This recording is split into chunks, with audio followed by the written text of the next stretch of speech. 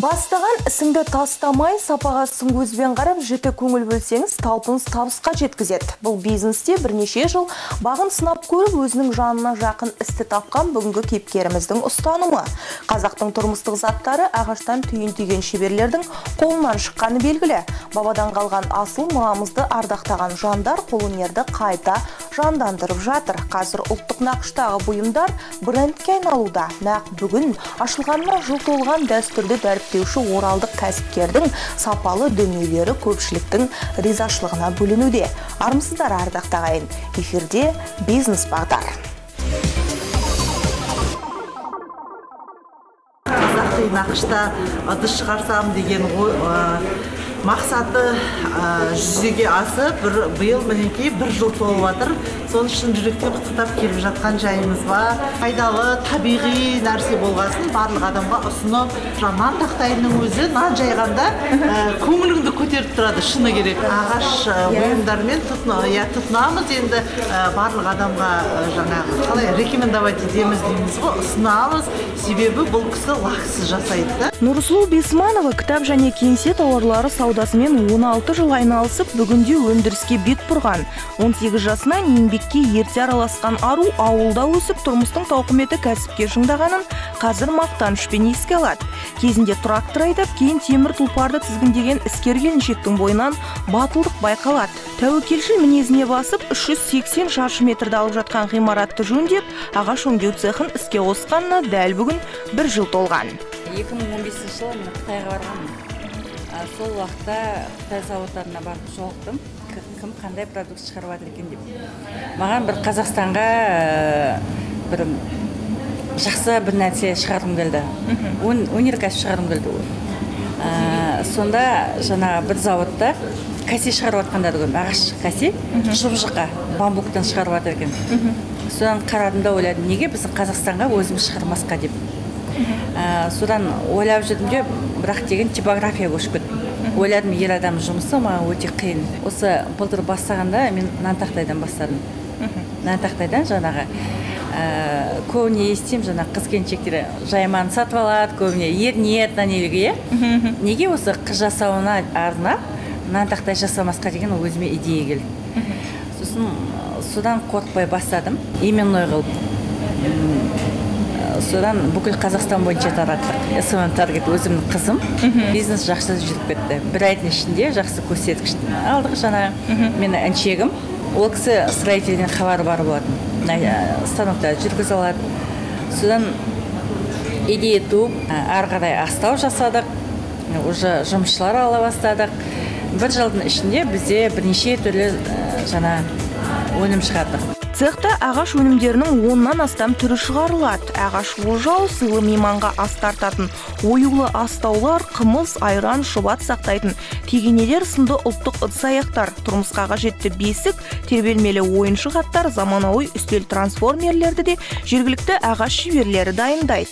Цехта қазір алты құрылғы тынбай жұмыс істеуде. Барлығы шымкент қаласынан әкелінген. Алты жергілікті тұрғын тұрақты жұмыспен қамтылған. Кәсіпкер бұл бизнесті бастап дамытып көтеруге 20 миллионның үстінде қаражат жұмсағанын айтады. Столдың түрлері бар кесенің түрлері бар нан тақтайдың түрлерінің өзі тек қана төрт бес түрі бар. Кесенің түрі бір бес түрі бар. Даже оннан да асып кетеді. Сұраныс қалай? Сұраныс қандай? Сұраныс жақсы. Қазақи өнімдерге көбіне қазақи оюлармен сұрайды. Жаңағы қазақи нақыштағы оюлармен сұрайды. Астаулар біздер арнайы ағаштарды россиядан алғызамын технология жөнінде бұл бұнда ата бабаларымыз жаңағы жылқының іш майына ысытып жаңағы майлаған ғой. Сондықтан мен де сол технология бойынша жасаймын әуелі қыздырамын жақсылап тұрып ағашын. Одан кейін барып майды ысытып шыжғырып кәдімгідей. Қатты қайнаған майды құйып солай бірнеше күн ұстаймын. Оны бір күн ұстап сатып жібермеймін. Оны бірнеше рет майлау керек содан кейін барып қолдану керек. Лақ жаққан сияқты жылтырап тұрады иә. Бірақ та ас салып неткеннен кейін де все равно адам өзі үйінде болғанда қолданғанда ағашты жарылып кетпеу үшін майлап тұру керек. Қазіргі таңда алты адам жұмыс жасайды. Әрқайсысының жұмыс орындары бар. Жаңағы ондай қатты шаң емес. Бізде бірінші жасаған цехымызда өте қатты шаң болатын. Себебі вытяжка салған жоқпыз да онда дұрыс болған жоқ қондырған адам. Мұнда специалисттің көмегімен жақсылап орналастырдық. Енді қазіргі таңда бұл бірінші ноябрьде алдық. Оған маған көмектесуге келген ағам ол кісі инофермада жасады кпо да пенсия шығуына үш ай қалса да ол кісі жұмысын тастап менің қиын екенін маған көріп келіп маған көмектесті. Қиын ба? Қиын болғанда жаңа ер адамдармен жұмыс істеу жаңағы тіл табысу ә, строительство жұмыстарын құрылыс жұмыстарын енді ер адамның өзі біледі ғой енді. Сол кісінің арқасында осындай үлкен цех жасап алдық иә інісі бардың тынысы бар ағасы бардың жағасы бар. Бауыры қырық жылдан астам уақыт құрылыста талмастан еңбек еткен нағыз істің адамы. Бос ғимаратты цехқа айналдыруда мол тәжірибесінің пайдасын көрген. Жөндеу барысында бір сәтке де жұмысты тоқтатпапты. Қарындасының кәсібінің өрге басуына шын жанашырлық танытып ағалық ақылын қосып септесуде. Кәсіпорынды тоқтатпадық. Олар істей берді себебі жұмыс жасалу керек. Халыққа ақша төлеу керек қой. Сондықтан да деген тоқтатпай ә, жаңағыдай ә, заявкілер келіп жатыр бүкіл қазақстан бойынша алматы талдықорған жезқазған ақтау атыраудан келіп жатыр біздер ол тоқтау үшін олар жұмыс істеп жатты біздер олармен араласып жаңағы техбезопасность деген бүлдірмей нарушать етпей жаңағыдай көрдіңіз ба қоян қолтық жұмыс істеп осындай жағдайға жеттік. Ә, жігіттер де келіп жұмыс істеп жатыр. Ризамын қазақ балдары. Қазақ балдар қолынан бәрі келді. Жалқау емес балдар деген қазір арақ ішпейді. Ә, уақытында келіп уақытында жұмыс істейді. Айтқанды тыңдайды. Ең бастысы үлкен кісінің бізде ә, қазақта солай ғой. Тәрбие. Ауылдан келген балдар бәрі деген. Айтқанды тыңдайды. Қарсыласпайды ешқандай. Соның арқасында олар деген бәрін үйреніп олар мұнда деген маған дейін істеді істеп келе жатыр да сосын жаңағы жағдай жасап бәрін тыңдағаннан кейін тіпті ары қарай жұмыс істейміз деп жатыр бүкіл станоктар бүкіл жаңағы тамақ ішетін жер шешінетін жері жыл жер бәрі қарастырған санитарлық нормамен сәйкес. Кәсіпкердің қолдаушысы бауырлары қолғанаты қызы айгерім бисманова ол алматы қаласынан желіде жарнама жүргізу курсын меңгеріп анасының кәсібін барша қазақстанға танымал етіп отыр. Соның нәтижесінде жергілікті өнімге деген қызығушылық пен тапсырыс басқа қалалардан да арта түскен. Ең басында инстаграмды жүргізу ол деген соған оқығаным осы бизнестан. Мысалға бизнес бастайын деп жаттық мен білдім что надо ә, развивать жаңағыдай инстаграмда интернетте онлайн.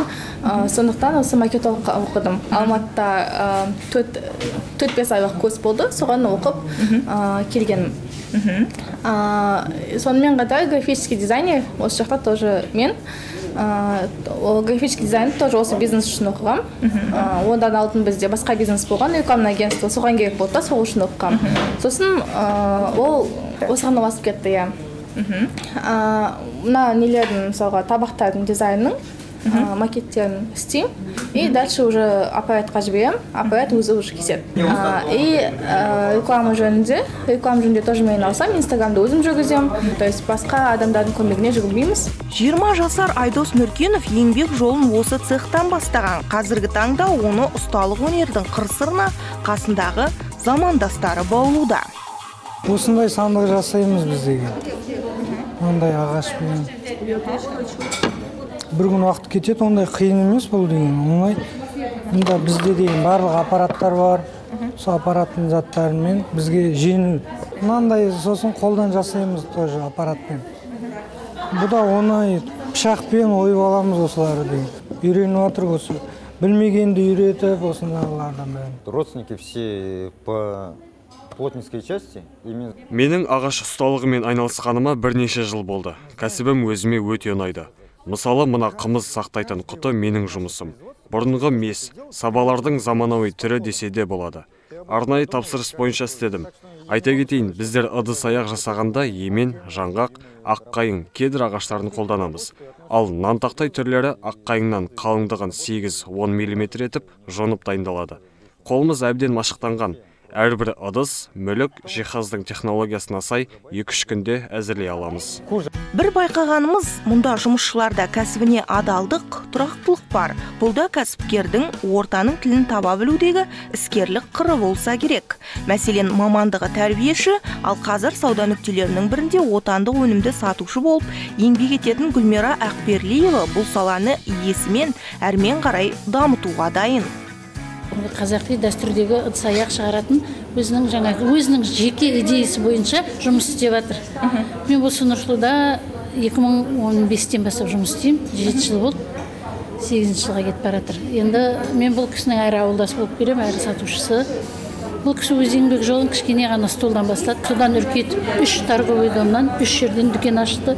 Сонымен қоса осы мына цехты ашты өзі қолға алып үш жаңағы фрезеровочный не лазерный станок бәрін алып келіп істеп жатыр осыны. Качествосы өте жақсы. Мен өзім көп адамға жаңағы ұсындым сыйлыққа. Жарылып кетпейді тамақ салғанда дәмі иісі шықпайды ешқандай. Ендігі мақсат құрылғылардың түрі мен санын арттырып жұмыс өнімділігін ширату. Бұл үшін жеке кәсіпкер мемлекеттің қолдауына жүгінбек ойда. Әлі де керек алда да кеңейту жоспары алда да кеңейту жоспары бар. Не қосқыңыз келеді? Енді мемлекет тарапынан көмек сұрағым келеді. Грант алып әлі де станоктар керек маған. Енді қазір қазіргі жағдайда әртүрлі өнім шығаруға үлкен мүмкіндік бар. Себебі спрос бар бізде. Сұраушылық өте көп. Біздің астауларды алып қолданғандар қайтадан келіп алып жатыр. Көбіне атырау ақтау шымкент сол жаққа көп кетіп жатыр. Яғни сіз өнім түрлерін өсіргіңіз келеді иә өнім түрлерін өсіргім келеді. Және мысалы бір астауды біздер бір күн істесек ол бір күнде бірнеше астау шығару үшін бізге жақсы жаңағы аппараттар керек. 30 жылға жуық ауыл шаруашылығымен айналысып ата кәсіпті өрістетіп отырған нәзік жандылардың бірі мәрзия нұрмұхамбетова. Қазір тасқала аудандық іскер әйелдер қауымдастығының төрайымы. Бұл шұрайлы өлкедегі толымды тірлікте бұрымдылардың үлес салмағы еселі екенін айтады. Әрі кәсіпкерлікте жас қыз келіншектер санының артып олардың заман көшіне ілесу қарқыны көңіл қуантарлық екен. Ал жылдар бойғы еңбектің мұндай нәтижесін көріп бас қосу тәжірибе алмасу кәсіп бастауға ынталыларға үлкен стимул дейді. Біздің досымыз бірге жүрген біздің цех ашып жатыр бүгін бір жылға толып жатыр соған келдік бірге поддержка етіп оны қарап нұрсұлуға сәттілік тілеп қасында болып жүргеніміз осындай әдемі стол істейді екен астауы қазақтардың дәстүрін көтеріп келе жатқан бір іскер әйел ғой. Бизнес көтеру деген қазір заманда кішкене ыңғайы. Палата атамекен деген көмектеседі үйретеді гранттар бар кредиттер бар поддержка бизнесқа сіз мемлекет тарапынан қазір қолдау алдыңыз ба? Алдым. Кредит алдым алты процентін болған техника алдым новый трактор сатып алдым. Әйел адамға деген ауыл шаруашылығымен әсіресе мал шаруашылығы саласымен айналысу қиын емес пе? Мен кезінде бастағанда доярка болып істедім. Содан кісі жетпегенде тракторға да отырдық комбайнға да отырдық. Қазір біздер үйретіп жатырмыз жастарға. Мал шаруашылығына қазіргі таңда жастардың қызығушылығы бар ма? Қалай ойлайсыз? осы салада жүрген адам ретінде. Қазір бар. Если открывать спортивную школу именно касающий конного спорта жастар көбіне соған таңғалады келеді. Жылқы жақсы көреді. Совет деловых женщин деген. Соған біздер жастарды кіргіземіз оларды үйретеміз солармен под одно крыло алып кетеміз. Қазір бізде например таңда тасқалада 18 грант алған жас әйел қыздар ашқан. Парикмахерский салоны красоты массажный салон бізде екі қыз деген грант алып 5 миллионнан біреу цех ашты мебельный цех біреу ашты детский развлекательный центр. Кезінде жастар бәрі ауылдан қашатын еді ғой. Ауылға высшее образование алғанда ауылға ешкім қайтып келмейді. Бәрі қалада қалғысы келеді. Қазір қараймын жастар қайта ауылға келіп жатыр. Шеберлердің шын ықыласының арқасында дүниеге келген бұл туындыларды келешек буынға табыстау зор еңбек. Һәм ұлт алдындағы парыз. Бұл жолда жеке кәсіп иелерінің де қосып жатқан үлесі айшықты екенін айтпауға болмас.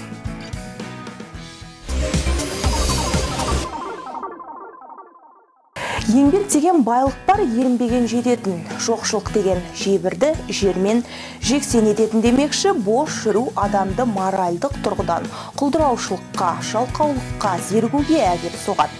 Табиғи таланттың да мұқалып санаңды негативті ойлардың жайлауы да осы кесір мінездің кеселі көрінеді.